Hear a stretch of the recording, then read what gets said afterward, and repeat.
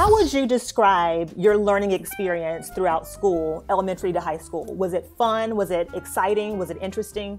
No! To all of the above, no! Because I was raised by uh, an immigrant family, they came from the Philippines. I they taught me two languages at once. I was thought I was dumb for the longest time. Um, high school was awful. Uh, just because I had moved across the country and then it was a big transition. Okay, so what were your favorite subjects and what were your least favorite subjects? I think math. Math was my favorite subject. I'm horrible at math. I don't like math. My very least favorite subject was math. I feel like that's a lot of people's. If you could change one thing about your education, what would it be? More uh, like life skill courses, like how to do your taxes. I would say no homework, definitely. I would change how they uh, teach us about black history. Uh, they only teach us what they want to teach us. Like, we only know about the basics, like Martin Luther King and Rosa Parks. We're going to show you videos that highlight what education was like years ago. Okay. And then we're going to also show you videos of what education is like in more recent years across various subjects. And you're going to react to how similar or how different to your own educational experience these curriculums are. This is great! How fun! Now listen up. My very eager mother just served us nine pizzas. Ooh, yum. This is very busy. Hey, if you were in elementary school before 2006, there's a good chance you had to memorize something similar to that sentence. This mnemonic device was used to teach learning about the children the order of the planets in our solar system Mercury, Venus, Earth, Mars, Jupiter, Saturn, Uranus, also pronounced Uranus. Yeah, you can't hide from it either way. and finally, Neptune and Pluto.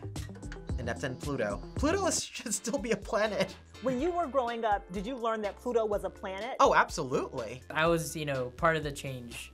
So it was, I had both. Uh, the only thing I remember them saying is that Pluto is no longer considered a planet. It was like a, a dwarf planet. I don't even remember memorizing the planets. I'm sure we did. I cheated a lot. Sharon, let's look at what kids are learning these days. Now, if you're currently in elementary school, you might be saying, wait, there were nine planets? Before going back to playing Fortnite Go or whatever kids are into these days. So, what happened to Pluto? It's not like it's gone anywhere. It's still out there on the edge of the solar system, so what changed? Well, Pluto hasn't, but our understanding of it has. We know way more about space than we did 100 years ago. Whatever definition science eventually settles on, sadly, Pluto probably won't be on it. So Pluto is no longer a planet. What, what are your thoughts about how that's changed since you were growing up? Yeah, so the real lesson there was, you know, things can change all the time. You know, fact is fact until it isn't. My life is no different the day before they said Pluto is not a planet than it was the day after. So I don't care. But I do remember vividly them saying Pluto's no longer a planet. Like I think it was when we were in school. That's when they they started changing it. So for me, it just feels arbitrary that Pluto is just no longer a planet. And I think they're trying to compensate it by calling it a dwarf planet. It's like, so it's still a planet. How was civil rights education incorporated into your curriculum? I feel like they should have made it not so more so much from a white man's point of view and more so from a black person's point of view. On Martin Luther King Day, they'll tell us like he was a good person and we watched like a short video on him and like that's probably about it. Martin Luther King, Malcolm X, um, W.E.B. Du Bois, a lot of Latino history, uh, also some Asian American history, which was really nice. So I had a lot of that background. We're going to look at the then, and then we're going to look at how history has kind of corrected itself regarding one particular civil rights um, heroine. Rosa Parks. Iconic activist Rosa Parks had a huge part to play in the history of the American civil rights movement when she bravely refused to give up her seat on a segregated bus in Montgomery, Alabama on December 1st, 1955. Many of us may have learned about how this fatigued ordinary woman refused to give up her seat in the all white section of the bus at the end of a long day and accidentally became the mother of the civil rights movement as we know it. But that story isn't necessarily true. Okay. What do you remember about learning about Rosa Parks? Not much. I mean, let's be real. We didn't even have Black History Month. Yeah, that's basically what they taught us. Like, she refused to give up her seat. But but who knows? Maybe maybe there's something even more to it that I still don't know. Darkening eve of December 1st, she was sat in the front row of the middle section of the bus designated for African American or colored riders, when the bus became packed with passengers and a white man was left standing. At this point, Miss Parks and three other black passengers were instructed by the driver to give up their seats to other white passengers. So it wasn't as if she was being purposefully disobedient in defiance of the rules like many of us are taught. She was following the rules by not being in the all white section, but she refused and was arrested after the driver's request meant she could no longer stand for such harsh treatment. So, had you ever learned that she was actually sitting in the segregated part of the bus, but then was asked to get up from the black part of the bus? What? I never knew that. I just like kind of took my school's curriculum word for it. That's a pretty good detail to include in there, and, and you know I'm glad that they fixed it, and hopefully with other examples like this they continue to do the same thing. The male whitewashing of history is just nauseating. Do you think that civil rights education should be incorporated into your middle school curriculum? Definitely. I mean, if people people face like uh, racism and discrimination in middle school, and people face it even younger, and so why shouldn't other people have to learn about it if other people have to face it? It's uh, it's kind of weird to like they're too young to learn about it. Um, then people should be too young to face it. You know. What were your PE classes like in high school, and like how much did you participate? Oh, I was big participant. Do you feel that you and your classmates are enthusiastic about participating in? PE? No. It actually like got my blood flowing and then me pumped in the morning for school, so I was like already ready to go. Okay, well, let's look at what early 1960s JFK wanted all high schools to look like. And there were about 4,000 high schools that looked like the high school we're getting ready to look at. Okay. They had a classical sense going all the way back to the Greek era of what it took to move the body well without injury. Oh, nope, we didn't do that. of movement and control. Where we've been Oh, able, geez. in the short space of No, two this and is not three PE. months, This is bodybuilding. change the physical habits Those are high school strength guys? of our Not children. at my high This school. will spread to every school district in the United States. Dang, that of looks like the whole school, not just and one so class. doing, we'll be wow, better look at that. and happier ones.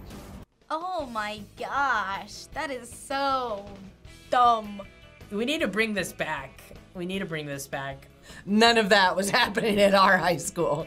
I mean, I'd be so down if everyone was in the spirit, like if that was the zeitgeist of like, yeah, like exercise. If they were like, okay, now you have to do like pull-ups, like all together, we have to do like sit-ups. I'm not doing that. I don't care what they say. I'm like, I'm gonna saw my arm off. I would start a movement to take that away. Give me the F on my PE form. I don't think college is gonna care. So let's take a look at what the average high school class, PE class, looks like now.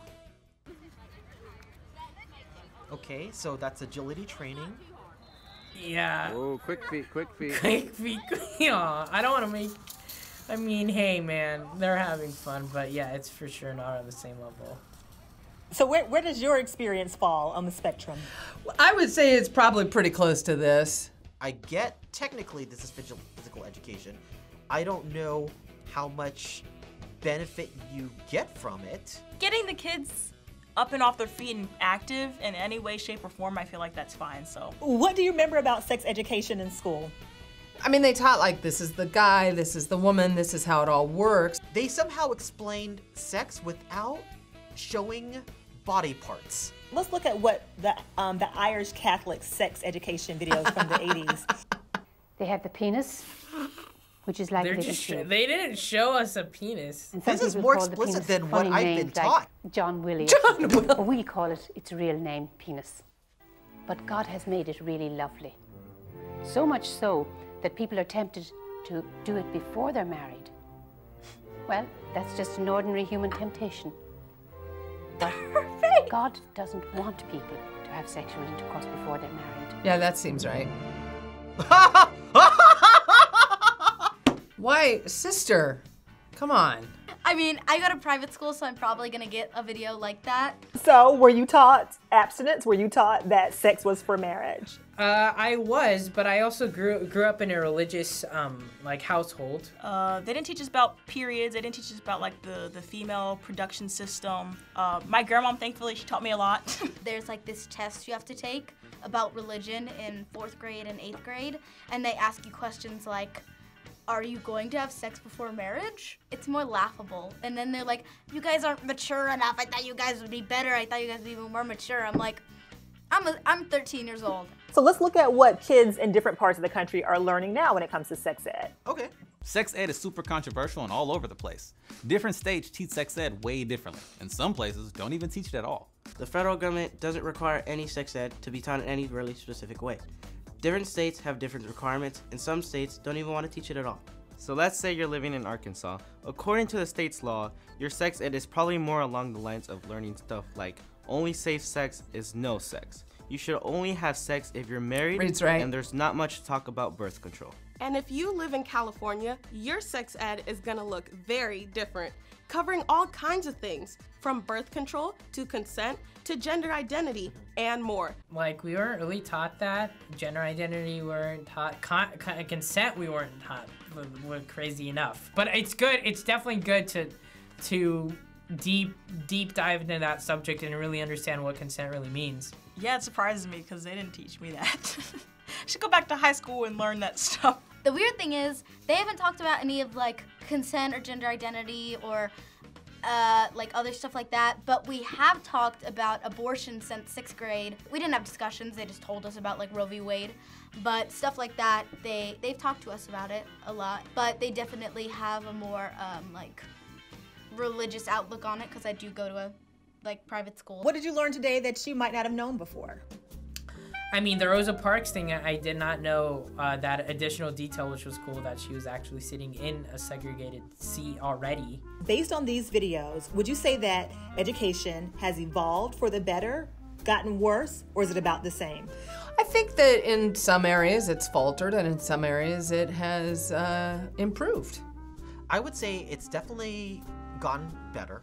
It seems the same to me. It doesn't seem like they changed much about like anything. I mean, from what I know, I feel like it's pretty much the same, maybe a little bit better. Education needs to be more about how to participate participate in a world um, as a good citizen. If you valued education as much as we pretend to say we do, then you would give it to everyone. And you don't. Education, a good education, is isolated to privileged people. I feel like birth control is a is a top tier thing to talk about because a lot of females don't know about it and like what it does to your body. If you're gonna be teaching a bunch of impressionable like seventh graders and sixth graders, you have to be accurate or else the rest of their life they're gonna be thinking the wrong information. And also, we definitely need to freaking bring back JFK PE, dude. Heck yeah. Thanks for watching this episode of React. If you like this video, make sure you hit the like button. What are your thoughts on education then versus now? Let us know in the comments. Thanks for watching. See you next time. We don't need no education. Parents, leave those kids alone.